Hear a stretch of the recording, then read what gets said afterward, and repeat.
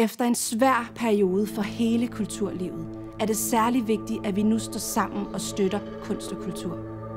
Hvis vi ikke nu giver nye idéer til kulturlivet, så dør det.